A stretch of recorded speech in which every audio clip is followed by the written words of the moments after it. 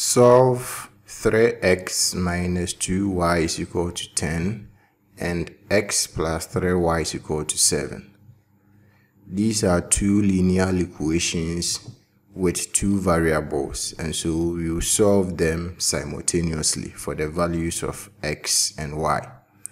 The first one is 3x minus 2y is equal to 10 and the second one is x plus 3y is equal to 7.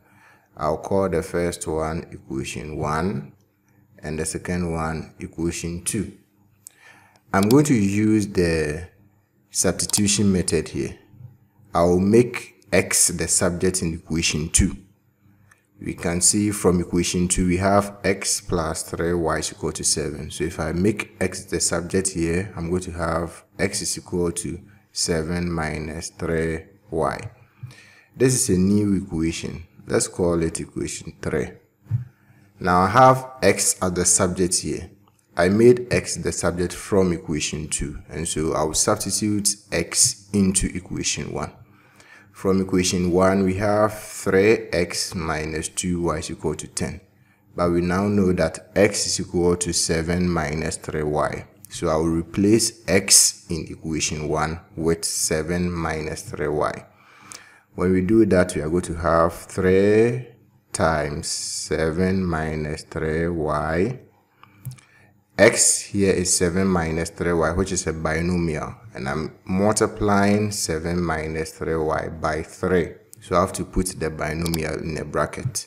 So we have 3 into bracket 7 minus 3y minus 2y is equal to 10.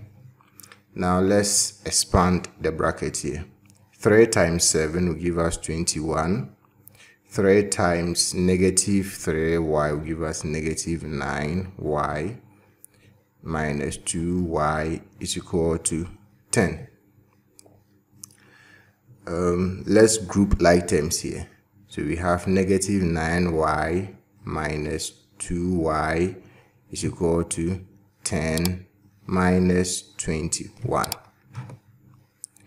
Negative 9 minus 2y will give us negative 11y. 10 minus 21 will give us negative 11.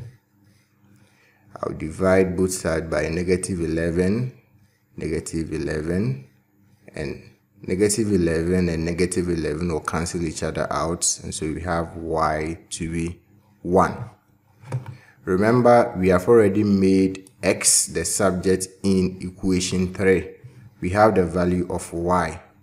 From equation 3 we know that x is equal to 7 minus 3y but we have just found out that y is equal to 1 and so you substitute the value of y, which is 1, into this equation. When we do that, we get x is equal to 7 minus 3 times y, which is 1.